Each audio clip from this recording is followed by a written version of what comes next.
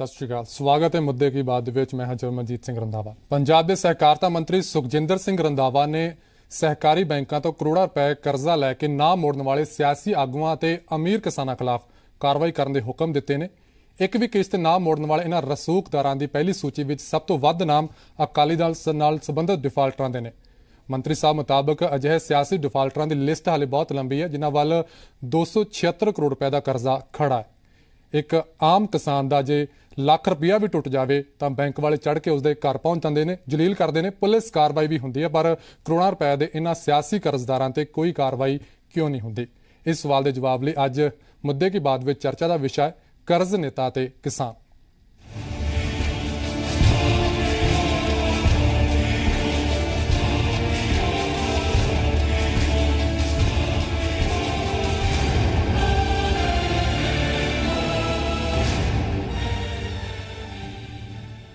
ਬਤੌਰ ਸਹਿਕਾਰਤਾ ਮੰਤਰੀ ਕੁਰਸੀ ਸੰਭਾਲ ਤੋਂ ਬਾਅਦ ਸੁਖਜਿੰਦਰ ਸਿੰਘ ਰੰਧਾਵਾ ਨੇ ਸਹਿਕਾਰੀ ਬੈਂਕਾਂ ਦੇ ਰਸੂਖਦਾਰ ਕਰਜ਼ਦਾਰਾਂ ਦੀ ਪੈੜ ਵੀ ਨੱਪ ਲਈ ਹੈ ਅਤੇ ਸਹਿਕਾਰਤਾ ਮਹਿਕਮੇ ਵੱਲੋਂ ਹੁਣ ਤੇ ਡਿਫਾਲਟਰ ਰਸੂਖਦਾਰਾਂ ਦੀ ਲਿਸਟ ਜਾਰੀ ਕੀਤੀ ਗਈ ਹੈ, ਜਿਨ੍ਹਾਂ ਦਾ ਕਰਜ਼ਾ ਕਰੋੜਾਂ ਵਿੱਚ ਹੈ ਅਤੇ ਡਿਫਾਲਟਰਾਂ ਦੀ ਇਸ ਲਿਸਟ ਵਿੱਚ ਸਭ ਤੋਂ ਵੱਧ ਨਾਮ ਅਕਾਲੀ ਦਲ ਦੇ ਨਾਲ ਸੰਬੰਧਿਤ ਆਗੂਆਂ ਦੇ ਨੇ। ਅਕਾਲੀ ਦਲ ਦੇ ਡਿਫਾਲਟਰਾਂ ਦੀ ਸੂਚੀ ਵਿੱਚ ਸਭ ਤੋਂ ਮੋਹਰੀ ਨਾਮ ਸਾਬਕਾ ਮੁੱਖ ਮੰਤਰੀ ਪ੍ਰਕਾਸ਼ ਸਿੰਘ ਬਾਦਲ ਦੇ ਨਜ਼ਦੀਕੀ ਦਿਆਲ ਸਿੰਘ ਕੋਲਿਆਂਵਾਲੀ ਦਾ ਹੈ, ਜਿਸ ਉੱਤੇ ਸਹਿਕਾਰੀ ਬੈਂਕ ਦਾ ਕੁੱਲ ਕਰਜ਼ਾ 1 ਕਰੋੜ 5 ਲੱਖ ਰੁਪਏ ਹੈ ਇਸ ਤੋਂ ਬਾਅਦ ਦਸੂਹਾ ਤੋਂ ਭਗਵੰਤ ਸਿੰਘ ਦੇ ਸਿਰ ਤੇ ਕੁੱਲ ਕਰਜ਼ਾ 57 ਲੱਖ ਰੁਪਏ ਦਾ ਹੈ ਅਤੇ ਦਸੂਹਾ ਤੋਂ ਹੀ ਜਗਤਾਰ ਸਿੰਘ ਦੇ ਸਿਰ ਤੇ ਕੁੱਲ ਕਰਜ਼ਾ 15 ਲੱਖ ਰੁਪਏ ਹੈ। ਪਟਿਆਲਾ ਤੋਂ ਬਲਵਿੰਦਰ ਸਿੰਘ ਤੇ ਕੁੱਲ ਕਰਜ਼ਾ 14 ਲੱਖ 52 ਹਜ਼ਾਰ ਰੁਪਏ, ਬਰਨਾਲਾ ਤੋਂ ਰਜਿੰਦਰ ਕੌਰ ਤੇ ਕੁੱਲ ਕਰਜ਼ਾ 41 ਲੱਖ ਰੁਪਏ ਹੈ, ਜਦੋਂ ਕਿ ਲਹਿਰਾ ਗਾਕਾ ਤੋਂ ਨਰਿੰਦਰ ਸਿੰਘ ਤੇ ਕੁੱਲ ਕਰਜ਼ਾ 20 ਲੱਖ 60 ਹਜ਼ਾਰ ਰੁਪਏ ਹੈ। ਉੱਥੇ ਬਡਲਾਡਾ ਤੋਂ ਅਕਾਲੀ ਦਲ ਦੇ ਗੁਰਪਿਆਰ ਸਿੰਘ ਸਿਰ ਕੁੱਲ 30 ਲੱਖ ਰੁਪਏ ਕਰਜ਼ਾ ਹੈ। ਲਹਿਰਾ ਗਾਗਾ ਤੋਂ ਹੀ ਅਕਾਲੀ ਦਲ ਦੇ ਰਾਜਵਿੰਦਰ ਕੌਰ ਤੇ ਕੁੱਲ 69 ਲੱਖ ਰੁਪਏ ਹੈ ਬਰਨਾਲਾ ਤੋਂ ਅਕਾਲੀ ਦਲ ਦੇ ਆਗੂ ਪ੍ਰਭਦੀਪ ਸਿੰਘ ਦੇ ਸਿਰ ਤੇ ਕੁੱਲ ਕਰਜ਼ਾ 30 ਲੱਖ ਰੁਪਏ, ਧੂਰੀ ਤੋਂ ਅਕਾਲੀ ਦਲ ਦੇ ਰਮਨਜੀਤ ਸਿੰਘ ਤੇ ਕੁੱਲ ਕਰਜ਼ਾ 11 ਲੱਖ ਰੁਪਏ ਹੈ, ਜਦੋਂ ਕਿ ਅਬੋਹਰ ਤੋਂ ਅਕਾਲੀ ਦਲ ਦੇ ਇੰਦਰ ਸਿੰਘ ਤੇ ਕੁੱਲ ਕਰਜ਼ਾ 69 ਲੱਖ ਰੁਪਏ ਹੈ। ਸਹਿਕਾਰਤਾ ਮੰਤਰੀ ਸੁਖਜਿੰਦਰ ਸਿੰਘ ਰੰਧਾਵਾ ਨੇ ਦਾਅਵਾ ਕੀਤਾ ਕਿ ਹਰ ਮਹੀਨੇ ਉਹ ਸਹਿਕਾਰੀ ਬੈਂਕਾਂ ਦੇ ਵੱਡੇ ਡਿਫਾਲਟਰਾਂ ਵਿੱਚੋਂ 20 ਨਾਵਾਂ ਦੀ ਲਿਸਟ ਜਾਰੀ ਕਰਨਗੇ। ਸਰਦਾਰ ਸੁਖਜੀਤ ਸਿੰਘ, ਉਹਨਾਂ ਨੂੰ ਮੈਂ ਇੱਕ ਗੱਲ ਕਹਿਣੀ ਚਾਹੁੰਦਾ ਕਿ ਜਾਂ ਜਿਹੜੇ ਉਹਨਾਂ ਦੇ ਲੀਡਰ ਬਾਕੀ ਕਹਿੰਦੇ ਨੇ ਕਿ ਕੀ ਤੁਹਾਡਾ ਖਿਆਲ ਹੈ ਕਿ ਦਿਆਲ ਸਿੰਘ ਕੋਲਿਆਂ ਵਾਲੀ ਦਾ ਵੀ ਕਰਜ਼ਾ ਮਾਫ ਹੋਣਾ ਚਾਹੀਦਾ? ਅਕਾਲੀ ਦਲ ਤੋਂ ਇਲਾਵਾ ਮੁਕੇਰੀਆਂ ਤੋਂ ਬੀਜੇਪੀ ਆਗੂ ਬਲਰਾਜ ਸਿੰਘ ਦੇ ਸਿਰ ਤੇ ਕੁੱਲ ਕਰਜ਼ਾ 52 ਲੱਖ ਰੁਪਏ ਹੈ, ਤਾਂ ਅਬੋਰ ਤੋਂ ਬੀਜੇਪੀ ਆਗੂ ਕਮਲ ਕੁਮਾਰ ਦੇ ਸਿਰ ਤੇ 24 ਲੱਖ 70 ਹਜ਼ਾਰ ਰੁਪਏ ਦਾ ਕਰਜ਼ਾ ਬਕਾਇਆ ਹੈ। ਗੱਲ ਜੇਕਰ ਕਾਂਗਰਸ ਦੀ ਕਰੀਏ ਤਾਂ ਪਠਾਨਕੋਟ ਤੋਂ ਕਾਂਗਰਸ ਦੇ ਰਮਨ ਪੱਲਾ ਤੇ ਕੁੱਲ ਕਰਜ਼ਾ 20 ਲੱਖ ਰੁਪਏ ਹੈ। ਅਬੋਰ ਤੋਂ ਕਾਂਗਰਸ ਦੇ ਰਵਿੰਦਰ ਕੁਮਾਰ ਤੇ ਕੁੱਲ ਕਰਜ਼ਾ 58 ਲੱਖ ਰੁਪਏ ਹੈ। ਉਧਰ ਪਟਿਆਲਾ ਤੋਂ ਆਮ ਆਦਮੀ ਪਾਰਟੀ ਦੇ ਗੁਰਮੀਤ ਸਿੰਘ ਤੇ ਕੁੱਲ ਕਰਜ਼ਾ 14 ਲੱਖ ਰੁਪਏ ਹੈ, ਜਦੋਂ ਕਿ ਕੁਝ ਰਹੀਸ ਕਿਸਾਨ ਆਗੂਆਂ ਦਾ ਨਾਮ ਵੀ ਡਿਫਾਲਟਰਾਂ ਦੀ ਲਿਸਟ ਵਿੱਚ ਸ਼ਾਮਲ ਹੈ। ਜਿਨ੍ਹਾਂ ਵਿੱਚੋਂ ਬੁਢਲਾਡਾ ਤੋਂ ਕਿਸਾਨ ਆਗੂ ਸਾਹਿਬ ਸਿੰਘ ਤੇ ਕੁੱਲ ਕਰਜ਼ਾ 39 ਲੱਖ ਰੁਪਏ, ਬੁਢਲਾਡਾ ਤੋਂ ਹੀ ਕਿਸਾਨ ਆਗੂ ਸੁਰਜੀਤ ਸਿੰਘ ਤੇ ਕੁੱਲ ਕਰਜ਼ਾ 32 ਲੱਖ ਰੁਪਏ ਹੈ। ਜਗਤਾਰ ਸਿੰਘ ਪੁੱਲਰ, ਜ਼ੀ ਮੀਡੀਆ, ਚੰਡੀਗੜ੍ਹ। ਉਧਰ ਪੰਜਾਬ ਕਾਂਗਰਸ ਦੇ ਪ੍ਰਧਾਨ ਸੁਨੀਲ ਜਾਖੜ ਨੇ ਕਿਹਾ ਹੈ ਕਿ ਉਹ ਤਾਂ ਪਹਿਲਾਂ ਹੀ ਇਸ ਕਾਰਵਾਈ ਦੇ ਹੱਕ ਵਿੱਚ ਤਾਂ ਤਾਂ ਉਧਰ ਆਮ ਆਦਮੀ ਪਾਰਟੀ ਦੇ ਅਮਨ ਅਰੋੜਾ ਨੇ ਵੀ ਸਵਾਗਤ ਕੀਤਾ ਹੈ।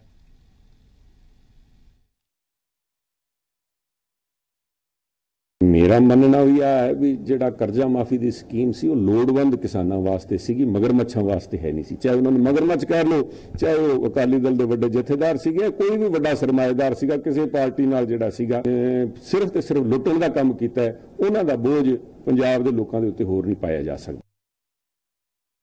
ਮੈਂ ਸਮਝਦਾ ਕਿ ਇਹ ਇੱਕ ਚੰਗਾ ਵੈਲਕਮ ਸਟੈਪ ਹੈ ਨੇਮਿੰਗ ਐਂਡ ਸ਼ੇਮਿੰਗ ਨਾਮ ਲੈਣਾ ਤੇ ਉਹਨਾਂ ਨੂੰ ਸ਼ਰਮਿੰਦਾ ਕਰਨਾ ਜਿਹੜਾ ਲੋਕਾਂ ਦਾ ਪੈਸਾ, ਸਰਕਾਰਾਂ ਦਾ ਪੈਸਾ ਲੈ ਕੇ ਮਾਰ ਜਾਂਦੇ ਨੇ, ਖਾ ਜਾਂਦੇ ਨੇ ਢਕਾਰ ਜਾਂਦੇ ਨੇ, ਉਹਨਾਂ ਨੂੰ ਸਰਕਾਰਾਂ ਨੂੰ ਸ਼ਰਮਸਾਰ ਕਰਨਾ ਚਾਹੀਦਾ ਤਾਂ ਕਿ ਇਹਨਾਂ ਕੋਲ ਸ਼ਾਇਦ ਕਿਸੇ ਗੱਲ ਦੀ ਕਮੀ ਨਾ ਹੋਵੇ ਤੇ ਫਿਰ ਵੀ ਸਰਕਾਰ ਦਾ ਪੈਸਾ ਨਾ ਮੁੜਨਾ ਕਿਉਂ?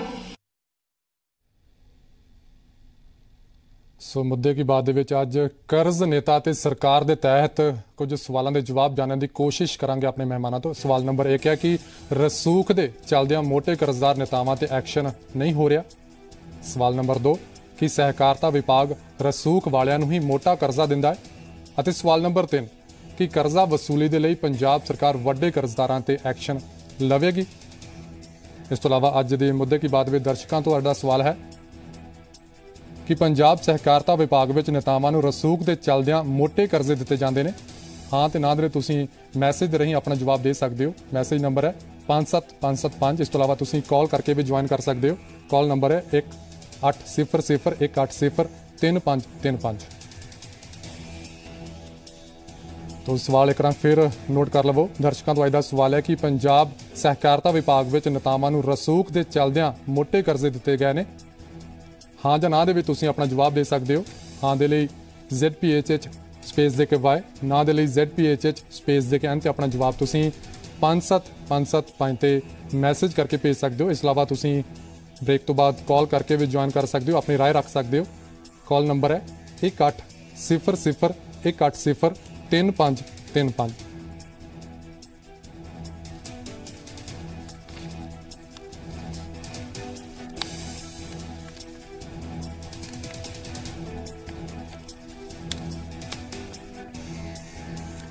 ਸੋ ਇਸ ਵਕਤ ਸਾਡੇ ਨਾਲ ਕੁਝ ਮਹਿਮਾਨ ਜੁੜ ਗਏ ਨੇ ਚੰਡੀਗੜ੍ਹ ਸਟੂਡੀਓ ਤੋਂ। ਆਮ ਆਦਮੀ ਪਾਰਟੀ ਦੇ ਬੂਟਾ ਸਿੰਘ ਬੈਰਾਗੀ, ਸਿਆਸੀ ਸਲਾਹਕਾਰ ਪ੍ਰੋਫੈਸਰ ਰੌਣਕੀ ਰਾਮ ਅਤੇ ਕਿਸਾਨ ਆਗੂ ਭਾਰਤੀ ਕਿਸਾਨ ਯੂਨੀਅਨ ਲੱਖੋਵਾਲ ਨਾਲ ਸੰਬੰਧ ਰੱਖਦੇ ਨਛੱਤਰ ਸਿੰਘ ਬੈਦਵਾਨ। ਸਭ ਤੋਂ ਪਹਿਲਾਂ ਸਾਡੇ ਮਹਿਮਾਨਾਂ ਦਾ ਸਵਾਗਤ ਹੈ। ਬੂਟਾ ਸਿੰਘ ਬਰਾਗੀ ਜੀ, ਸਰਕਾਰ ਨੇ ਸੂਚੀ ਤਾਂ ਜਾਰੀ ਕਰ ਦਿੱਤੀ ਹੈ। ਤੇ ਕੀ ਲੱਗਦਾ ਕਿ ਕਾਰਵਾਈ ਹੋਏਗੀ?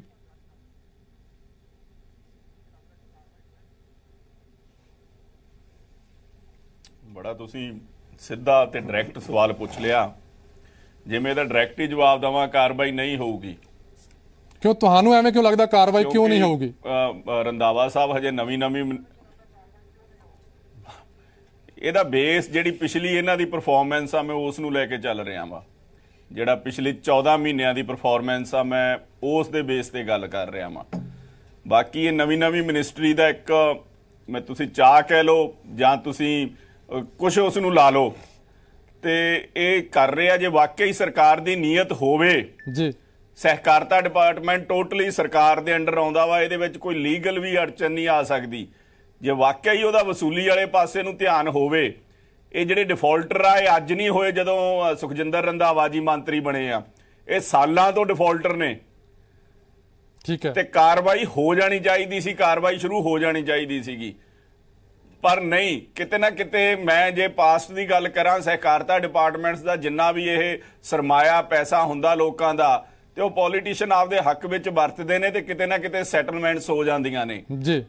ਤੇ ਇਹਨਾਂ ਕੋਲੇ ਐਬਸੋਲੂਟ ਪਾਵਰ ਕਰਕੇ ਉਹ ਬੂਟਾ ਸਿੰਘ ਘਟਾ ਵੀ ਜੀ ਲੈਂਦੇ ਬੂਟਾ ਨੇ। ਸਿੰਘ ਜੀ ਸੁਖਜਿੰਦਰ ਸਿੰਘ ਰੰਧਾਵਾ ਨੇ ਕਿਸੇ ਵੀ ਪਾਰਟੀ ਨੂੰ ਕਿਸੇ ਵੀ ਕਿਸਾਨ ਨੇਤਾ ਨੂੰ ਨਿਰਾਸ਼ ਨਹੀਂ ਕੀਤਾ ਲੱਗਦਾ। ਉਹਨਾਂ ਨੇ ਅਕਾਲੀ ਦਲ ਦੇ ਵੀ ਨੇਤਾਵਾਂ ਦੇ ਨਾਮ ਸੁਣਾਏ ਕਾਂਗਰਸ ਦੇ ਵੀ ਆਮ ਆਦਮੀ ਪਾਰਟੀ ਦਾ ਵੀ ਇੱਕ ਨਾਮ ਹੈਗਾ। ਉਹਦੇ ਬਾਰੇ ਤੁਹਾਡਾ ਕੀ ਖਿਆਲ ਹੈ?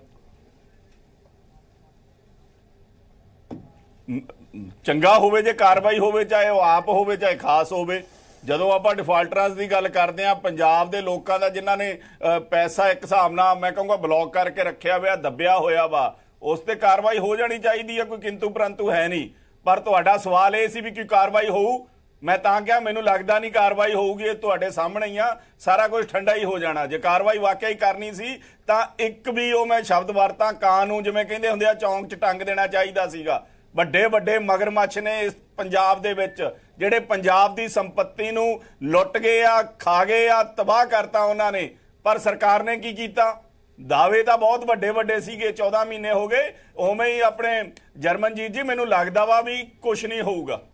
ਠੀਕ ਹੈ। ਇਹ ਸਿਰਫ ਤੇ ਸਿਰਫ ਤੁਹਾਡੇ ਸਾਹਮਣੇ ਹੀ ਆ। ਕੋਈ ਨਹੀਂ ਹੁਣੇ ਕਾਂਗਰਸ ਤੇ ਵੀ ਬੁਲਾਰੇ ਪਹੁੰਚ ਜਾਣਗੇ ਉਹਨਾਂ ਕੋਲ ਜਵਾਬ ਲਵਾਂਗੇ। ਨਛੱਤਰ ਸਿੰਘ ਜੀ ਕਿਸਾਨ ਆਗੂ ਹੋ। ਕਿਸਾਨ ਆਗੂਆਂ ਨੂੰ ਵੀ ਨਾਰਾਜ਼ ਨਹੀਂ ਕੀਤਾ ਸਰਕਾਰ ਨੇ। ਚਾਰ ਨਾਮ ਸਾਹਮਣੇ ਆਏ ਨੇ, ਜਿਨ੍ਹਾਂ ਦੇ ਖਿਲਾਫ ਲੱਖਾਂ ਰੁਪਏ ਦਾ ਕਰਜ਼ਾ ਦੇਣਦਾਰੀਆਂ ਜੜੀਆਂ ਨੇ। ਤੇ ਇਹ ਕਿਤਨਾ ਕਿਤੇ ਸਵਾਲ ਨਹੀਂ ਉੱਠਦਾ ਕਿ ਇੱਕ ਪਾਸੇ ਇਹੀ ਉਹ ਨੇਤਾ ਨੇ ਜਿਹੜੇ ਕਿਸਾਨਾਂ ਨੂੰ ਲੈ ਕੇ ਯੂਨੀਅਨ ਬਣਾ ਕੇ ਸਰਕਾਰਾਂ ਦੇ ਖਿਲਾਫ ਐਜੀਟੇਸ਼ਨ ਕਰਦੇ ਨੇ, ਜਦੋਂ ਕਿ ਇਹਨਾਂ ਦੇ ਆਪਣੇ ਹੀ ਇਹਨਾਂ ਦੇ ਦੇਣਦਾਰੀਆਂ ਕਾਫੀ ਪਈਆਂ ਹੋਈਆਂ ਨੇ। ਤੁਹਾਡਾ ਕੀ ਕਹਿਣਾ ਹੈ?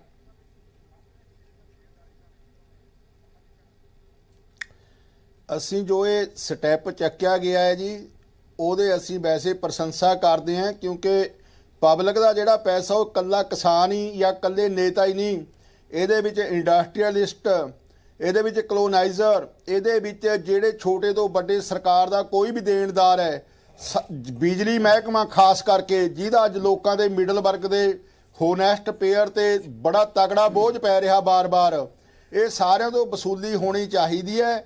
ਲੇਕਿਨ ਜਿਵੇਂ ਬੈਰਾਗੀ ਜੀ ਨੇ ਕਿਹਾ ਕਿ ਮੈਨੂੰ ਨਹੀਂ ਲੱਗਦਾ ਕਿ ਗੱਲ ਅੱਗੇ ਵਧੇਗੀ ਉਹਦੇ ਨਾਲ ਇਹ ਖਦਸ਼ਾ ਵੀ ਹੈ ਕਿ ਜਦੋਂ ਅਮਰਿੰਦਰ ਸਿੰਘ ਦੀ ਸਰਕਾਰ ਨੇ ਸ਼ੁਰੂ ਸ਼ੁਰੂ ਦੇ ਵਿੱਚ ਸਹੁੰ ਚੁੱਕੀ, ਤਾਂ ਲੋਕਾਂ ਨੇ ਡਰਦੇ ਡਰਦੇ ਆਪਣੇ ਆਪ ਹੀ ਬਿਜਲੀ ਬੋਰਡ ਦੇ ਤੇ ਕਿਸ਼ਤਾਂ ਭਰਨੀਆਂ ਸ਼ੁਰੂ ਕਰ ਦਿੱਤੀਆਂ ਸੀ। ਪਰ ਮਗਰੋਂ ਕੀ ਸੈਟਲਮੈਂਟ ਹੋ ਗਈ, ਮਗਰੋਂ ਕੀ ਭਾਣਾ ਵਰਤ ਗਿਆ, ਕੋਈ ਪਤਾ ਨਹੀਂ ਲੱਗਿਆ, ਉਹ ਸਾਰੀ ਕਾਰਵਾਈ ਉੱਥੇ ਠੱਪ ਹੋ ਗਈ। ਵੈਸੇ ਜੇ ਰੰਧਾਵਾ ਸਾਹਿਬ ਨੇ ਸੁਹਿਰਦਤਾ ਦੇ ਨਾਲ ਸ਼ੁਰੂ ਕਰਨ, ਅਰ ਕੱਲੇ 20 9 ਹਰ ਮਹੀਨੇ ਕਿਉਂ ਸਾਰੀਆਂ ਲਿਸਟਾਂ ਇੱਕੋ ਵਾਰੀ ਜਾਰੀ ਹੋ ਜਾਣ ਤਾਂ ਵਧੀਆ ਗੱਲ ਹੈ ਲੇਕਿਨ ਉਹ ਕਿਸਾਨ ਜਿਹੜੇ ਸਿਰਫ ਕੱਲੀ ਖੇਤੀ ਤੇ ਡਿਪੈਂਡੈਂਟ ਨੇ ਠੀਕ ਹੈ ਉਹ ਸਰਕਾਰ ਦੀਆਂ ਨੀਤੀਆਂ ਕਰਕੇ ਅੱਜ ਕੰਗਾਲ ਹੋਏ ਨੇ ਜਾਂ ਕਰਜ਼ਈ ਹੋਏ ਨੇ ਲੇਕਿਨ ਜਿਹੜੇ ਕਿਸਾਨ ਵੱਡੇ ਨੇ ਤੇ ਉਹਨਾਂ ਦੇ ਨਾਲ ਹੋਰ ਬਿਜ਼ਨਸ ਤੋਰੇ ਹੋਏ ਨੇ ਉਹਨਾਂ ਕਿਸਾਨਾਂ ਤੇ ਅਗਰ ਸਕੰਜਾ ਕੱਸਿਆ ਜਾਂਦਾ ਠੀਕ ਹੈ। ਤਾਂ ਮੈਂ ਪਰਸਨਲ ਤੌਰ ਤੇ ਉਹਦਾ ਵਿਰੋਧ ਨਹੀਂ ਜਵਾਬ ਲੈ ਆ ਕਾਂਗਰਸ ਦੇ ਮਨਪ੍ਰੀਤ ਸਿੰਘ ਸਿੱਧੂ ਸਾਡੇ ਨਾਲ ਜੁੜ ਗਏ ਨੇ ਸੰਧੂ ਜੁੜ ਚੁੱਕੇ ਨੇ। ਸੰਧੂ ਸਾਹਿਬ ਤੁਸੀਂ ਲੇਟ ਹੋ ਗਏ। ਪਹਿਲਾ ਸਵਾਲ ਤੁਹਾਡੇ ਤੋਂ ਕਰਨਾ ਸੀ ਜਿਵੇਂ ਕਿ ਪਹਿਲਾਂ ਬਿਰਾਗ ਜੀ ਨੇ ਦੱਸਿਆ ਹੈ ਕਿ ਉਹਨਾਂ ਨੇ ਪੁੱਛਿਆ ਸੀ ਕਿ ਕਾਰਵਾਈ ਹੋਵੇਗੀ। ਸੂਚੀ ਤਾਂ ਜਾਰੀ ਹੋ ਗਈ। ਉਹ ਕਹਿੰਦੇ ਕਿ ਮੇਰਾ ਤੇ ਇੱਕ ਹੀ ਸਿੱਧਾ ਸਵਾਲ ਹੈ ਕਿ ਜਵਾਬ ਹੈ ਕਿ ਕਾਰਵਾਈ ਨਹੀਂ ਹੋਵੇਗੀ। ਕਿਉਂਕਿ ਸਵਾ ਸਾਲ ਦਾ ਜਿਹੜਾ ਰਿਕਾਰਡ ਟਰੈਕ ਰਿਕਾਰਡ ਉਹਨਾਂ ਨੇ ਉਹਨਾਂ ਦੇ ਦਾਵਾ ਕੀਤਾ ਹੈ ਕਿ ਕਿਸੇ ਵੀ ਕੰਮ ਦੇ ਵਿੱਚ ਕਾਰਵਾਈ ਨਹੀਂ ਹੋਈ ਤੇ ਇਹ ਵੀ ਸੂਚੀ ਧਰੀ ਦੀ ਤਰਾਈ ਰਹਿ ਜਾਏਗੀ। ਕੰਮ ਠੰਡਾ ਪੈ ਜਾਏਗਾ।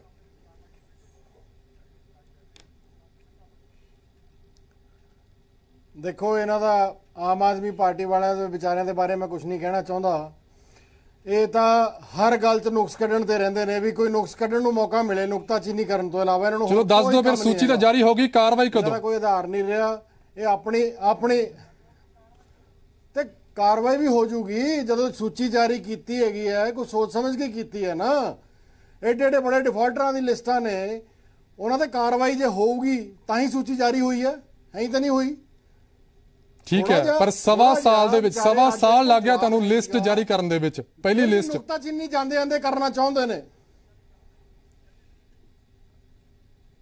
ਜੇ ਜੇ ਕੋਈ ਕਰੇ ਤਾਂ ਨਾ ਤਾਂ ਨਹੀਂ ਤੁਸੀਂ ਖੁਸ਼ ਹੁੰਦੇ। ਜੇ ਨਾ ਕਰੇ ਤਾਂ ਨਹੀਂ ਖੁਸ਼ ਹੁੰਦੇ। ਤੇ ਖੁਸ਼ ਕਿਵੇਂ ਹੋ ਜਾਈਏ? ਪਿਛਲੇ ਸਵਾ ਸਾਲ ਦੇ ਵਿੱਚ ਸੈਂਕੜੇ। ਕਿਸਾਨ ਖੁਦਕੁਸ਼ੀਆਂ ਕਰ ਚੁੱਕੇ ਨੇ ਕਰਜ਼ੇ ਦੇ ਚੱਲਦਿਆਂ। ਕਿਸੇ ਇੱਕ ਕਿਸਾਨ ਦਾ ਆਮ ਕਿਸਾਨ ਦਾ ਲੱਖ ਰੁਪਇਆ ਟੁੱਟ ਜੇ ਤਾਂ ਬੈਂਕਾਂ ਵਾਲੇ ਗੱਡੀਆਂ ਲੈ ਕੇ ਘਰਾਂ ਤੇ ਚੜ ਜਾਂਦੇ ਉਹਨਾਂ ਦੇ। ਕਿਸਾਨ ਨੂੰ ਜਲੀਲ ਵੀ ਕੀਤਾ ਜਾਂਦਾ ਹੈ। ਫੋਟੋਆਂ ਨੋਟਿਸ ਬੋਰਡ ਤੇ ਲਾ ਦਿੱਤੀਆਂ ਜਾਂਦੀਆਂ। ਤੇ ਇਹੋ ਜਿਹੇ ਕਿਸਾਨ ਹੈ ਜਿਨ੍ਹਾਂ ਨੇ ਹਾਲੇ ਤੱਕ ਇੱਕ ਵੀ ਕਿਸ਼ਤ ਨਹੀਂ ਮੋੜੀ। ਇਹ ਕਹਿ ਰਹੇ ਸੀਗੇ ਵੀ ਕਰਜ਼ੇ ਇਹ ਤਾਂ ਕਹਿੰਦੇ ਸੀ ਕਰਜ਼ੇ ਮਾਫ ਹੀ ਨਹੀਂ ਹੋਣੇ। ਮਾਫੀਆਂ ਸ਼ੁਰੂ ਹੋ ਗਈਆਂ ਨੇ ਨਾ। ਭਾਵੇਂ ਕੋਆਪਰੇਟਿਵ ਸੁਸਾਇਟੀਆਂ ਦੀ ਸ਼ੁਰੂ ਹੋਈਆਂ। ਕਿਸੇ ਨੇ ਕਿਸੇ ਨੇ ਇਹ ਤਾਂ ਨਹੀਂ ਕਿਹਾ ਨਾ ਵੀ ਪਹਿਲੇ ਮਹੀਨੇ ਅਸੀਂ ਕਰਜ਼ੇ ਮਾਫ ਕਰ ਦਾਂਗੇ। 5 ਸਾਲ ਦਾ ਸਾਡੇ ਕੋਲ ਟੈਨਿਓਰ ਹੈਗਾ ਅਸੀਂ ਕਰ ਰਹੇ ਹਾਂ।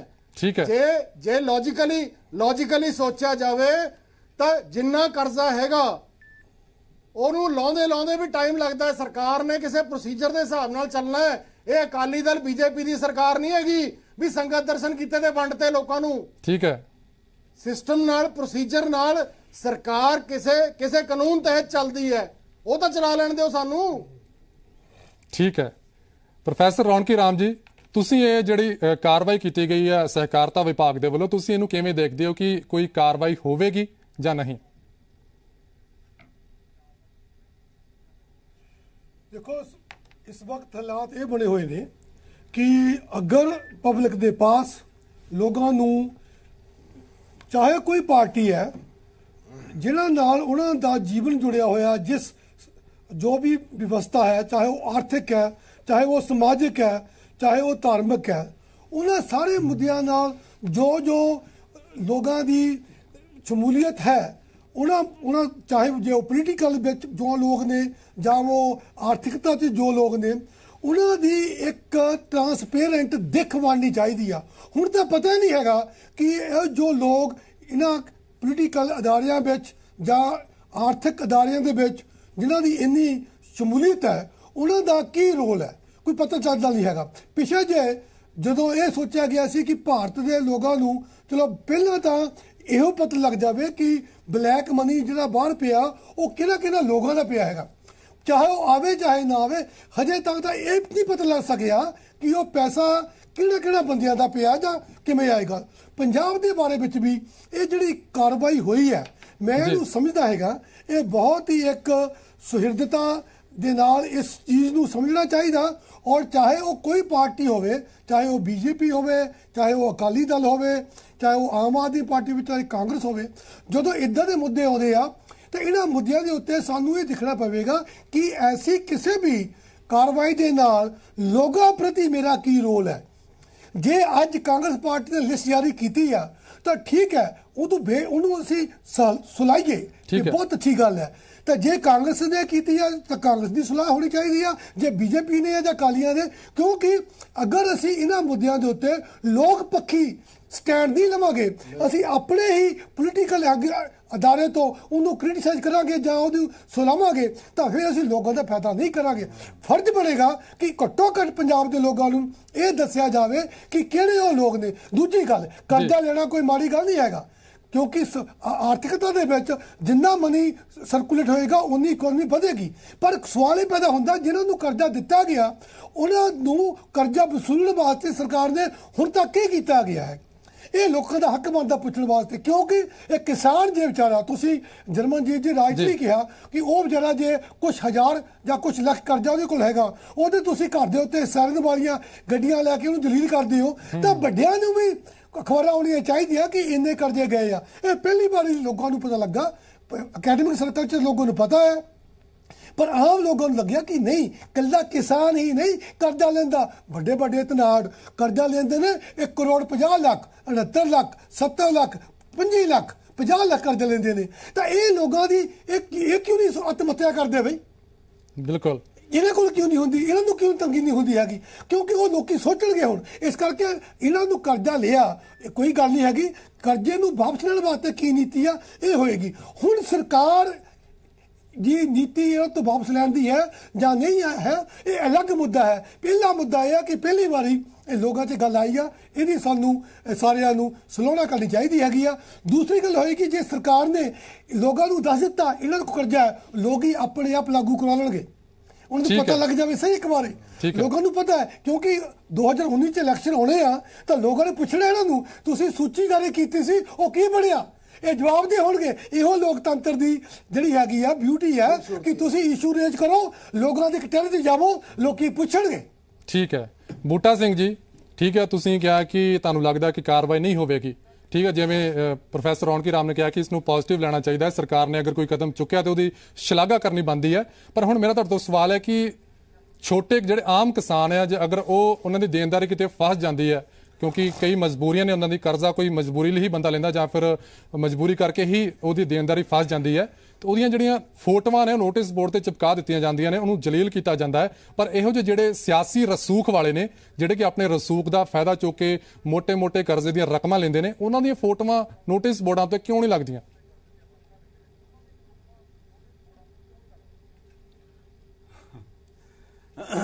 ਦੇਖੋ, ਪਤਾ ਹੀ ਹੈ ਜੀ, ਆਪਾਂ ਨੂੰ ਕਿਉਂ ਨਹੀਂ ਲੱਗਦੀਆਂ? ਉਹ ਬੜਾ ਉਹਨਾਂ ਦਾ ਗਵਰਨਮੈਂਟ ਵਿੱਚ ਰਸੂਖ ਹੁੰਦਾ ਵਾ। ਮੰਤਰੀ ਵੀ ਉਹਨਾਂ ਚੋਂ ਬਣਦੇ ਨੇ ਐਮਐਲਏ ਵੀ ਉਹਨਾਂ ਚੋਂ ਬਣਦੇ ਨੇ। ਬੇਸਿਕਲੀ ਉਹ ਪਬਲਿਕ ਮਨੀ ਨੂੰ ਆਪਦੇ ਯੂਜ਼ ਲਈ, ਆਪਦੇ ਹਿੱਤਾਂ ਲਈ ਵਰਤਦੇ ਨੇ। ਮੈਂ ਵੈਦਮਾਨ ਸਾਹਿਬ ਦੀ ਇਸ ਗੱਲ ਨਾਲ ਸਹਿਮਤ ਹਾਂ ਵੀ ਤੁਹਾਨੂੰ ਕਰਜ਼ਾ ਸਾਰੇ ਲੈਂਦੇ ਆ, ਲੈਣਾ ਵੀ ਚਾਹੀਦਾ ਵਾ, ਚੰਗਾ ਵਾ, ਇਹ ਮਾੜਾ ਨਹੀਂਗਾ ਪਰ ਦੇਖਣ ਵਾਲੀ ਇੱਥੇ ਗੱਲ ਮਿਊਟਲੀ ਇਹ ਆ ਵੀ ਜਿਹੜੇ ਦੀ ਸਰਵਾਈਵਲ ਹੀ ਖੇਤੀ ਤੇ ਆ, ਤੇ ਖੇਤੀ ਸਰਕਾਰ ਦੀਆਂ ਮਾੜੀਆਂ ਨੀਤੀਆਂ ਕਰਕੇ ਫੇਲ ਹੋ ਗਈ ਆ। ਇੱਕ ਪਾਸੇ ਤਾਂ ਆਪਾਂ ਨੂੰ ਉਹ ਵਰਗ ਰੱਖਣਾ ਪਊਗਾ। ਤੇ ਇੱਕ ਪਾਸੇ ਉਹ ਵਰਗ ਰੱਖਣਾ ਪਊਗਾ ਜਿਹੜਾ ਅੱਜ ਮੈਂ ਉਹ ਅਖਬਾਰ ਦੇ ਵਿੱਚ ਤੁਸੀਂ ਵੀ ਸ਼ਾਇਦ ਨੋਟਿਸ ਚ ਹੋਵੇ ਸ਼ਰਦ ਪਵਾਰ ਦੀ ਕੁੜੀ। ਜੀ। ਦਸਾਂ ਏਕੜਾਂ ਦੇ ਵਿੱਚੋਂ ਪਤਾ ਨਹੀਂ ਕਿੰਨੇ ਕਿੰਨੀ ਉਹਨੇ ਸੰਪਤੀ ਕਰੋੜਾਂ ਦੀ ਆਪਦੀ ਆਈਟੀ ਰਿਟਰਨ ਵਿੱਚ ਸ਼ੋਅ ਕੀਤੀ ਆ। ਤੇ ਪੰਜਾਬ ਵਿੱਚ ਵੀ ਸਾਡੇ ਸਿਆਸੀ ਰਸੂਖ ਵਾਲੇ ਬਹੁਤ ਸਾਰੇ ਇਹੋ ਜਿਹੇ ਬੰਦੇ ਇਹ ਆ ਵੀ ਆਪਦੀ ਟੋਟਲੀ ਇੰਟਾਇਰਲੀ ਬਲੈਕ ਮਨੀ ਆ ਜਿਹੜੀ ਉਹ ਐਗਰੀਕਲਚਰ ਫਾਰਮਿੰਗ ਦਿਖਾ ਕੇ ਉਹਦੇ 'ਚ ਐਡਜਸਟ ਕਰ ਰਹੇ ਆ। ਤੇ ਉੱਤੋਂ ਦੀ ਕਰਜ਼ਾ ਵੀ ਲਈ ਜਾਂਦੇ ਆ ਇਹ ਕੋਆਪਰੇਟਿਵ ਅਦਾਰਿਆਂ ਤੋਂ। ਤੇ ਮੋਂਡ ਦਾ ਨਾਂ ਨਹੀਂ ਲੈਂਦੇ। ਸਰਕਾਰ ਜੇ ਵਾਕਿਆ ਹੀ ਸਿੰਸੀਅਰ ਆ ਤੇ ਅੱਜ ਐਫੀਡੈਵਿਟ ਵੀ ਉਹਨਾਂ ਦੇ ਜਿਹੜੇ ਇਲੈਕਸ਼ਨ ਕਮਿਸ਼ਨ ਕੋਲੇ ਆ ਉਹ ਉਹਨਾਂ ਨੂੰ ਚੈੱਕ ਕਰ ਸਕਦੀ ਆ ਦੇਖ ਸਕਦੀ ਆ। ਬਈ ਇਹਨਾਂ ਦੀ ਸੰਪਤੀ ਇੰਨੀ ਵਧੀ ਕਿਉਂ? 10 ਏਕੜ ਵਾਲਾ ਇੱਕ 5 ਏਕੜ ਵਾਲਾ ਤਾਂ ਸੁਸਾਈਡ ਕਰ ਰਿਹਾ ਵਾ ਉਦੋਂ ਤਾਂ ਕਿਸ਼ਤ ਨਹੀਂ ਮੁੜਦੀ। ਇਹਨਾਂ ਨੇ ਉਸੇ ਹੀ ਏਰੀਏ ਦੇ ਵਿੱਚੋਂ 15 ਏਕੜਾਂ ਦੇ ਵਿੱਚੋਂ ਕਰੋੜਾਂ ਰੁਪਏ ਕਮਾ ਲਏ। ਇਹ ਬੜਾ ਐਲੈਬੋਰੇਟ ਇਸ਼ੂ ਆ ਇਸ ਤੇ ਮੈਂ ਤਾਂ ਅ, ਚਾਹੁੰਦਾ ਵਾ ਵੀ ਕਮਿਸ਼ਨ ਬੈਠੇ ਇਹਨੂੰ ਪ੍ਰੋਪਰਲੀ ਐਨਾਲਾਈਜ਼ ਕਰੇ ਬਾਕੀ ਜਿੱਥੋਂ ਤੱਕ ਫੋਟੋਆਂ ਦੀ ਗੱਲ ਆ ਦੇਖੋ ਕੋਆਪਰੇਟਿਵ ਡਿਪਾਰਟਮੈਂਟ ਇੱਕ ਇਹੋ ਜਿਹਾ ਡਿਪਾਰਟਮੈਂਟ ਆ ਜਿਹੜਾ ਸਾਡੀ ਸਾਰਿਆਂ ਦੀ ਕਾਰਪੋਰੇਸ਼ਨ ਦੇ ਨਾਲ ਚੱਲਦਾ ਵਾ ਸਾਰਿਆਂ ਦੀ ਮਦਦ ਨਾਲ ਚੱਲਦਾ ਸਾਡੀ ਹੋਈ ਉਹਦੇ ਵਿੱਚ ਕੰਟਰੀਬਿਊਸ਼ਨ ਹੁੰਦੀ ਆ ਜਦੋਂ। ਕੋਈ ਵੀ ਸਾਡਾ ਭਰਾ ਕਿਸਾਨ ਕਿਸ਼ਤ ਨਹੀਂ ਮੋੜ ਸਕਦਾ ਮੈਂ ਕਿਸਾਨ ਦੀ ਗੱਲ ਕਰ ਰਿਹਾ ਜਿਹੜਾ। ਡਿਪੈਂਡੈਂਟ ਹੀ ਐਗਰੀਕਲਚਰ ਤੇ ਆ ਜੇ ਉਹਨੂੰ ਜਲੀਲ ਕਰਦੇ ਨੇ ਬੈਂਕ ਆਫੀਸ਼ੀਅਲ ਜਾਂ ਗਵਰਨਮੈਂਟ ਤਾਂ ਉਹ ਬਹੁਤ ਹੀ ਮਾੜੀ ਗੱਲ ਆ, ਉਹ ਨਹੀਂ ਕਰਨਾ ਚਾਹੀਦਾ ਵਾ, ਇੱਕ ਪ੍ਰੋਸੈਸ ਹੁੰਦਾ ਵਾ, ਜਿਹੜਾ ਉਹ ਫੋਲੋ ਕਰਕੇ ਤੁਸੀਂ ਆਪਦੀ ਰਿਕਵਰੀ ਕਰ ਸਕਦੇ ਆ ਤੇ ਉਹ ਪ੍ਰੋਸੈਸ ਸਾਰਿਆਂ ਲਈ ਇਕੁਅਲ ਚਾਹੀਦਾ ਵਾ। ਐ ਨਹੀਂ ਵੀ ਜਿਹਦਾ ਰਸੂਖ ਆ, ਅਸੀਂ ਉਹਨੂੰ ਸਕੀਮ ਰੋਡ ਦੇ ਵਿੱਚੋਂ ਦੀ ਕੱਢ ਦਈਏ, ਜਿਹਦਾ ਵਿਚਾਰੇ ਦਾ ਕੁਝ ਵੀ ਨਹੀਂਗਾ, ਉਹਨੂੰ ਅਸੀਂ ਜਾ ਕੇ ਦੱਬ ਲਈਏ, ਇਹ ਇਹ ਚੀਜ਼ ਤੇ ਸਾਨੂੰ ਧਿਆਨ ਰੱਖਣਾ ਚਾਹੀਦਾ। ਠੀਕ ਹੈ। ਬੈਦਵਾਨ ਸਾਹਿਬ ਜਿਵੇਂ ਕਿ ਤੁਸੀਂ ਕਿਸਾਨ ਆਗੂ ਹੋ ਤੇ ਕਿਸਾਨ ਆਗੂਆਂ ਦੇ ਨਾਮ ਵੀ ਇਹਦੇ ਵਿੱਚ ਸ਼ਾਮਲ ਨੇ। 40 40 ਲੱਖ ਰੁਪਈਆ 15 15 ਲੱਖ ਰੁਪਈਆ 55 55 ਲੱਖ ਰੁਪਈਆ ਜਿਨ੍ਹਾਂ ਦੀ ਦੇਣਦਾਰੀ ਬਚੀ ਹੋਈ ਹੈ। ਤੇ ਸਭ ਤੋਂ ਵੱਡੀ ਗੱਲ ਹੈ ਕਿ ਇਹ ਜਿਹੜੀ ਲਿਸਟ ਜਾਰੀ ਕੀਤੀ ਗਈ ਸਹਿਕਾਰਤਾ ਵਿਭਾਗ ਵੱਲੋਂ, ਇਹ ਉਹਨਾਂ ਦੀ ਜਾਰੀ ਕੀਤੀ ਹੈ, ਜਿਨ੍ਹਾਂ ਹਾਲੇ ਤੱਕ ਲੱਖਾਂ ਰੁਪਏ ਕਰੋੜਾਂ ਰੁਪਏ ਦੇਣਦਾਰੀਆਂ ਦੇਣੀਆਂ ਤੇ ਇੱਕ ਵੀ ਕਿਸ਼ਤ ਜਿਹੜੀ ਕਿ ਹਾਲੇ ਤੱਕ ਨਹੀਂ ਮੋੜੀ। ਕੀ ਤੁਹਾਨੂੰ ਲੱਗਦਾ ਹੈ ਕਿ ਇਹੋ ਜਿਹੇ ਜਿਹੜੇ ਕਿਸਾਨ ਆਗੂ ਆ, ਉਹ ਪੂਰੀ ਜਿਹੜੀ ਆ ਜਿਹੜੇ ਜਿਹੜੇ ਕਿਸਾਨ ਤੁਸੀਂ ਗੱਲ ਕੀਤੀ ਹੈ ਕਿ ਸਿਰਫ ਜਿਨ੍ਹਾਂ ਦੇ ਜਿਨ੍ਹਾਂ ਦਾ ਗੁਜ਼ਾਰਾ ਹੀ ਖੇਤੀ ਤੋਂ ਹੈ ਤੇ ਖੇਤੀ ਲਾਹੇਵੰਦ ਨਹੀਂ ਰਹੀ, ਤੇ ਉਹਨਾਂ ਦੇ ਰਾਹ ਦੇ ਵਿੱਚ ਵੀ ਰੋੜਾ ਹੈ, ਉਹਨਾਂ ਦਾ ਵੀ ਹੱਕ ਮਾਰ ਰਹੇ ਨੇ ਇਹੋ ਜਿਹੇ ਕਿਸਾਨ ਆਗੂ। ਬਿਲਕੁਲ ਮਾਰਿਆ ਜਾ ਰਿਹਾ ਜੀ। ਕੋਈ ਵੀ ਬੰਦਾ, ਕੋਈ ਵੀ ਗਵਰਨਮੈਂਟ ਦਾ ਦੇਣਦਾਰ, ਜਿਹੜਾ ਵੀ ਕੋਈ ਹੱਕ ਮਾਰਦਾ, ਉਹ ਸਾਡਾ ਸਾਰੀ ਪਬਲਿਕ ਦਾ ਹੱਕ ਮਾਰਿਆ ਜਾਂਦਾ, ਇੱਕ ਇਕੱਲੇ ਕਿਸਾਨ ਦਾ ਹੀ ਨਹੀਂ। ਜਿਵੇਂ ਇਹਨਾਂ ਨੇ ਬਰਾਗੀ ਸਾਹਿਬ ਨੇ ਦੱਸਿਆ ਕਿ ਸਰਦ ਪਵਾਰ ਜੀ ਦੀ ਬੇਟੀ ਦਾ 10 ਕਿੱਲਿਆਂ ਦੇ ਵਿੱਚੋਂ 10 ਕਰੋੜ ਦੀ ਰਿਟਰਨ ਦਿਖਾਈ ਸੀ। ਜੀ। ਤੇ ਅਸੀਂ ਇਹ ਦਿੱਲੀ ਦੇ ਵਿੱਚ ਮਸਲਾ ਵੀ ਚੱਕਿਆ ਸੀ ਕਿ ਜਿਹੜੇ ਲੋਕਾਂ ਨੂੰ ਤੁਸੀਂ ਕਹਿੰਦੇ ਆ ਕਿ ਸਾਡਾ ਜਦੋਂ ਮੀਟਿੰਗ ਹੋਈ ਤਾਂ ਉੱਥੇ ਕੁਐਸਚਨ ਉੱਠਿਆ ਕਿ ਅਸੀਂ ਕਿਸਾਨੀ ਨੂੰ 200 ਕਰੋੜ ਰੁਪਈਆ ਕਰਜ਼ੇ ਦੀ ਇਨਕਮ ਟੈਕਸ ਰਿਆਇਤ ਦਿੰਦੇ ਆ। ਠੀਕ ਹੈ। ਤਾਂ ਉੱਥੇ ਸਾਡੇ ਜਿਹੜੇ ਲੀਡਰ ਸੀ ਰਕੇਸ਼ ਟਕੈਤ ਜੀ ਅਜਮੇਰ ਸਿੰਘ ਲੱਖੋਵਾਲ ਜੀ ਕਿ ਜਿਨ੍ਹਾਂ ਲੋਕਾਂ ਨੂੰ ਤੁਸੀਂ ਇਨਕਮ ਟੈਕਸ ਛੱਡਦੇ ਆ ਉਹਨਾਂ ਦੀ ਜ਼ਮੀਨ ਤਾਂ ਪੱਥਰਾਂ ਦੇ ਵਿੱਚ ਹੈ ਜਿੱਥੇ ਕੰਡੇ ਵੀ ਨਹੀਂ ਉੱਗਦੇ। ਉਹਨਾਂ ਨੂੰ ਇਹ ਵੀ ਨਹੀਂ ਪਤਾ ਹੁੰਦਾ ਕਿ ਮੇਰੀ ਜ਼ਮੀਨ ਹੈ ਕਿੱਥੇ ਹੈ ਸਿਰਫ ਉਹਨਾਂ ਦੇ ਕੋਲ ਪਥਰੀਲੀ ਕੰਡਿਆਲੀ ਤਾਰ ਦੇ ਜ਼ਮੀਨ ਲਿਆ ਕੇ ਇਨਕਮ ਟੈਕਸ ਦੇ ਦਿੰਦੇ ਆ ਤੇ ਜਿਹੜੇ ਇਨਕਮ ਆਫੀਸਰ ਹੈ ਉਹ ਉਹਨੂੰ ਓਕੇ ਕਰ ਦਿੰਦੇ ਹੈਗੇ। ਜਦ ਕਿ ਅੱਜ ਤੱਕ ਖੇਤੀਬਾੜੀ ਜ਼ਮੀਨ ਦਾ ਕਰੋੜ ਰੁਪਏ ਦਾ ਕਿੱਲੇ ਦਾ ਉਂਬੇ ਉਂਝ ਵੀ ਮੁੱਲ ਨਹੀਂ ਹੈ। ਠੀਕ ਹੈ। ਸੋ ਇਹ ਬੈਦਵਾਨ ਸਾਹਿਬ ਇੱਕ ਸਵਾਲ ਹੈ ਜਿਹੜੇ ਕਿਸਾਨ ਆਗੂਆਂ ਦਾ ਨਾਮ ਜਿਹੜਾ ਕਿਸਾਨ ਆਗੂਆਂ ਦਾ ਨਾਮ ਇਸ ਡਿਫਾਲਟਰਾਂ ਦੀ ਲਿਸਟ ਵਿੱਚ ਆਇਆ ਜੇ ਉਹਨਾਂ ਦੇ ਕੋਈ ਕਾਰਵਾਈ ਹੁੰਦੀ ਹੈ ਉਹਨਾਂ ਤੋਂ ਵਸੂਲੀ ਹੁੰਦੀ ਹੈ ਸਰਕਾਰੀ ਕਾਨੂੰਨ ਦੇ ਤਹਿਤ ਕੀ ਤੁਸੀਂ ਇਹਦੇ ਹੱਕ ਵਿੱਚ ਹੋ? ਮੈਂ ਤਾਂ ਜੀ ਸਾਰਿਆਂ ਦੇ ਵਿੱਚ ਇੰਡਸਟਰੀਅਲਿਸਟ ਵਿੱਚੇ ਕਿਸਾਨ ਕੋਈ ਵੀ ਬੰਦਾ ਜਿਹੜਾ ਵੱਡਾ ਜਿਹਦੀ ਮਜਬੂਰੀ ਕਰਕੇ ਨਹੀਂ ਜਿਹਨੇ ਆਪਣੀ ਨੇਕ ਨੀਤੀ ਛੱਡ ਕੇ ਸਿਰਫ ਤੇ ਸਿਰਫ ਠੱਗੀ ਮਾਰਨ ਵਾਸਤੇ ਕਰਜ਼ਾ ਲਿਆ ਉਹਨੂੰ ਨਿਰਪੱਖ ਕੱਢ ਚਲੋ ਦੇਣਾ ਬੈਂਕ ਤਾਂ ਹੁਣ ਇਹ ਚੀਜ਼ ਦਾ ਬੈਂਕ ਬੈਂਕ ਤੈਅ ਕਰੇਗੀ ਨਾ ਕਿੰਨੇ ਨੇਕ ਨੀਤੀ ਨਾਲ ਲਿਆ ਕਿੰਨੇ ਠੱਗੀ ਲਈ ਲਿਆ ਕਿਉਂਕਿ ਕਿਉਂ ਕਿਸ ਸਾਲੇ ਤੱਕ ਇੱਕ ਵੀ ਨਹੀਂ ਮੋੜੀ ਗਈ। ਹੁਣ ਸਭ ਤੋਂ ਵੱਡਾ ਸਵਾਲ ਇਹੀ ਹੈ ਕਿ ਕੀ ਅਗਰ ਸਰਕਾਰ ਕੋਈ ਕਾਰਵਾਈ ਕਰਦੀ ਹੈ ਇਹਨਾਂ ਕਿਸਾਨਾਂ ਦੇ ਖਿਲਾਫ ਇਹਨਾਂ ਡਿਫਾਲਟਰਾਂ ਦੇ ਖਿਲਾਫ ਜਿਹੜੇ ਕਿਸਾਨ ਆਗੂ ਨੇ ਕਿਤੇ ਕਿਸਾਨ ਧਰਨਾ ਦੇ ਕੇ ਤਾਂ ਨਾ ਬੈਠ ਜਾਣਗੇ ਫਿਰ ਜਰਮਨ ਜੀ ਸਹਿਕਾਰਤਾ ਡਿਪਾਰਟਮੈਂਟ ਵਿੱਚ ਜਰਮਨ ਜੀ ਸਹਿਕਾਰਤਾ ਡਿਪਾਰਟਮੈਂਟ ਵਿੱਚ ਪ੍ਰਾਪਰਟੀ ਜਾਂ ਉਹ ਚੀਜ਼ ਘੱਟ ਦੇਖੀ ਜਾਂਦੀ ਆ ਆਪਦਾ ਪ੍ਰਭਾਵ ਬੜਾ ਦੇਖਿਆ ਜਾਂਦਾ ਵਾ। ਠੀਕ ਹੈ। ਜੀ ਜੀ। ਠੀਕ ਹੈ ਠੀਕ ਹੈ ਸੰਧੂ ਐਗਜ਼ਾਮਪਲ ਐਗਜ਼ਾਮਪਲ ਸੰਧੂ ਸਾਹਿਬ ਮੈਂ ਤੁਹਾਡੇ ਕੋਲ ਆਉਣਾ ਵਾਂ ਤੁਹਾਡੇ ਕੋਲ ਆਉਣਾ ਵਾਂ ਪਹਿਲੀ ਗੱਲ ਮੈਂ ਤਾਂ ਪਹਿਲੀ ਗੱਲ ਤਾਂ ਬੈਰਾਗੀ ਜੀ ਨੇ ਜਿਹੜੀ ਗੱਲ ਕੀਤੀ ਨਾ ਵੀ ਕਮਿਸ਼ਨ ਵੀ ਹਾਂਜੀ ਹਾਂਜੀ। ਕਮਿਸ਼ਨ ਬਿਠਾਉਣਾ ਚਾਹੀਦਾ ਹੈ। ਬਿਲਕੁਲ। ਬਿਠਾਉਣਾ ਚਾਹੀਦਾ ਹੈ। ਔਰ ਸਭ ਤੋਂ ਸਭ ਤੋਂ ਪਹਿਲਾਂ ਜਿਹੜੇ ਆ ਕਿਸਾਨ ਆਗੂ ਬਣੇ ਫਿਰਦੇ ਨੇ ਨਾ ਇਹਨਾਂ ਦੀ ਇਨਕੁਆਇਰੀ ਹੋਣੀ ਚਾਹੀਦੀ ਹੈ ਆ ਠੀਕ ਹੈ। ਜਿਹੜੇ ਤੁਸੀਂ ਕੋਲਿਆਂ ਵਾਲੀ ਦੀ ਗੱਲ ਕੀਤੀ ਹੈ ਵੀ ਕਰੋੜ ਰੁਪਏ ਤੋਂ ਉੱਤੇ ਹੈਗਾ ਪ੍ਰਭਾਵ ਦੀ ਗੱਲ ਕਰਨ ਲੱਗਿਆ ਮੈਂ ਪ੍ਰਭਾਵ ਦੀ ਠੀਕ ਹੈ ਲੱਖੋਵਾਲ ਸਾਹਿਬ ਚੇਅਰਮੈਨ ਸੀਗੇ ਮੰਡੀ ਬੋਰਡ ਦੇ ਕਿਸਾਨ ਆਗੂ ਨੇ ਆ ਕੋਲਿਆਂ ਵਾਲੀ ਨੇ ਜੇ ਕਰੋੜ ਰੁਪਏ ਲੈ ਕੇ ਇੱਕ ਵੀ ਕਿਸ਼ਤ ਨਹੀਂ ਦਿੱਤੀ ਤਾਂ ਇਹਨਾਂ ਕੋਲ ਇਹਨਾਂ ਨੂੰ ਕੋਈ اخلاقی ਤੌਰ ਤੇ ਇੱਥੇ ਆ ਕੇ ਪੈਨਲ ਤੇ ਬੈਠ ਕੇ ਇਹ ਜਿਹੀਆਂ ਗੱਲਾਂ ਕਰਨ ਦਾ ਕੋਈ ਫ- ਅਹ ਡਿਊ- ਉਹ ਨਹੀਂ ਹੈਗਾ ਇਹਨਾਂ ਨੂੰ ਹੱਕ ਨਹੀਂ ਹੈਗਾ। ਠੀਕ ਹੈ। ਕਿਸਾਨਾਂ ਦੀ ਹਮਾਇਤ ਕਰਦੇ ਨੇ ਇਹਨਾਂ ਦੀਆਂ ਜਾਇਦਾਦਾਂ ਚੈੱਕ ਕਰਾਈਆਂ ਜਾਣ ਇਹਨਾਂ ਦੀ ਕਮਿਸ਼ਨ ਬਿਠਾਈ ਜਾਵੇ ਜਿੰਨੇ ਕਿਸਾਨ ਆਗੂ ਨੇ ਅਰਬਾਂ ਰੁਪਏ ਦੀ ਜਾਇਦਾਦਾਂ ਬਣਾਈ ਬੈਠੇ ਨੇ ਇਹ। ਤੇ ਸੰਧੂ ਸਾਹਿਬ ਕਮਿਸ਼ਨ ਕਮਿਸ਼ਨ ਬਿਠਾਉਣਾ ਕਿੰਨੇ ਕਿਸਾਨਾਂ ਨੂੰ ਇਹ ਸਭ ਤੋਂ ਵੱਡਾ ਮੂਰਖ ਬਣਾਉਂਦੇ ਨੇ ਇਹ। ਸੰਧੂ ਸਾਹਿਬ ਜੇ ਲੋੜ ਪਈ ਕਮਿਸ਼ਨ ਦੀ ਤਾਂ ਬਿਠਾਉਣਾ ਕਿੰਨੇ? ਸਰਕਾਰ ਤੁਹਾਡੀ ਹੈ। ਨੂੰ ਕਿਸਾਨਾਂ ਨੂੰ ਮੈਂ ਕਹਿ ਰਿਹਾ। ਕਿਸਾਨ ਮੂਰਖ ਨਹੀਂ ਬਣਾਉਂਦੇ। ਇਹ ਤੁਹਾਡੇ ਜਿਹੜੇ ਲੀਡਰ ਨੇ ਉਹ ਬਣਾਉਂਦੇ ਨੇ ਦਸ ਕਿਸਾਨਾਂ ਸਾਲ- ਦਾ ਮੂਰਖ ਉਹੀ ਨਾਲ ਦਸ- ਉਹੀ ਥਾਪੀ ਦਿੰਦੇ ਨੇ। 10 ਸਾਲ ਲਖੋਵਾਲ ਸਾਹਿਬ ਮੰਡੀ ਬੋਰਡ ਦੇ ਚੇਅਰਮੈਨ ਬਣੇ ਰਹੇ। 10 ਸਾਲਾਂ ਦੇ ਵਿੱਚ ਕਿਸਾਨੀ ਪੰਜਾਬ ਦੀ ਪੱਠਾ ਬੈਠ ਗਿਆ। ਕਿਵੇਂ ਬੈਠ ਕੇ ਪੱਠਾ ਦਾ ਹੋਰ ਕਿਹਨੇ ਬਿਠਾਇਆ? ਨਹੀਂ ਨਹੀਂ ਤੁਸੀਂ ਕਿਵੇਂ ਬਿਠਾਤਾ ਪੱਠਾ? ਅਸੀਂ ਕਿਵੇਂ ਬਿਠਾਤਾ? ਸਵਾਮੀ ਨਾਥਨ ਰਿਪੋਰਟ ਤੁਸੀਂ ਨਹੀਂ ਲਾਗੂ ਕੀਤੀ ਸਵਾਮੀ ਆਪਣੇ ਨਾਥਨ ਕਮਿਸ਼ਨ 10 ਬਣਾ ਸਾਲ। ਤੁਸੀਂ ਤੁਸੀਂ ਸਾਲ ਤੋਂ ਤੁਹਾਡੀ ਸਰਕਾਰ ਹੈ। ਦਿੱਲੀ 'ਚ। 1900 ਬਾਦਲ ਬਾਦਲ ਸਾਹਿਬ ਤੁਹਾਡੇ ਦਿੱਲੀ 'ਚ ਬੈਠੇ ਨੇ। ਬਾਦਲ ਸਾਹਿਬ ਦਿੱਲੀ ਸਰਕਾਰ 'ਚ ਬੈਠੇ ਨੇ। ਗਾਂਧੀ ਸੀ ਜਿਹਨੇ ਤੁਹਾਡੇ ਆਗੂਆਂ ਦੀਆਂ ਜਾਇਦਾਦਾਂ ਦੀ ਕਮਿਸ਼ਨ ਇਨਕੁਆਇਰੀ ਕਰਾ ਲਓ। ਪਤਾ ਲੱਗ ਜੂਗਾ ਤੁਹਾਨੂੰ। ਸੰਧੂ ਸਾਹਿਬ ਸ਼ੁਰੂ ਕਰਿਆ ਇਹ ਕੰਮ ਕਿਸਾਨਾਂ ਨੂੰ ਥੱਲੇ ਲਾਉਣ ਉਹ ਦਾ। ਜਾਣ ਦਿਓ, ਜਾਣ ਦਿਓ। ਸੰਧੂ ਸਾਹਿਬ ਸੰਧੂ ਸਾਹਿਬ ਬੈਦਵਾਨ ਸਾਹਿਬ। ਚੇਅਰਮੈਨ ਰਹੇ ਹੋ। ਤੁਸੀਂ 10 ਸਾਲ ਤੁਸੀਂ 72 ਦੇ ਦੇਖੋ। ਸੰਧੂ ਸਾਹਿਬ ਬੈਦਵਾਨ ਸਾਹਿਬ ਇੱਥੇ ਫਿਰ ਤੁਹਾਡੇ ਕੋਲ ਵਾਪਸ ਆਵਾਂਗੇ। ਦੇ ਚਰਚਾ ਦਾ ਟਾਈਮ ਹੈਗਾ ਹਾਲੇ। ਤੇ ਬ੍ਰੇਕ ਤੇ ਛੋਟਾ ਜਿਹਾ ਬ੍ਰੇਕ ਦਾ ਟਾਈਮ ਹੈ। ਬ੍ਰੇਕ ਤੋਂ ਪਹਿਲਾਂ ਦਰਸ਼ਕਾਂ ਤੋਂ ਸਾਡਾ ਸਵਾਲ ਹੈ ਅੱਜ ਦਾ। ਅੱਜ ਦਾ ਸਵਾਲ ਹੈ ਕਿ ਕੀ ਪੰਜਾਬ ਸਹਿਕਾਰਤਾ ਵਿਭਾਗ ਵਿੱਚ ਨੇਤਾਵਾਂ ਨੂੰ ਰਸੂਖ ਦੇ ਚੱਲਦਿਆਂ ਮੋٹے ਕਰਜ਼ੇ ਦਿੱਤੇ ਜਾਂਦੇ ਨੇ। ਹਾਂ ਜਾਂ ਨਾ ਦੇ ਵਿੱਚ ਤੁਸੀਂ ਆਪਣਾ ਜਵਾਬ ਸਾਨੂੰ ਮੈਸੇਜ ਰਾਹੀਂ ਦੇ ਸਕਦੇ ਹੋ। ਮੈਸੇਜ ਨੰਬਰ ਹੈ 57575 ਇਸ ਤੋਂ ਇਲਾਵਾ ਤੁਸੀਂ ਬ੍ਰੇਕ ਤੋਂ ਬਾਅਦ ਕਾਲ ਕਰਕੇ ਵੀ ਜੁਆਇਨ ਕਰ ਸਕਦੇ ਕਾਲ ਨੰਬਰ ਹੈ 180018033535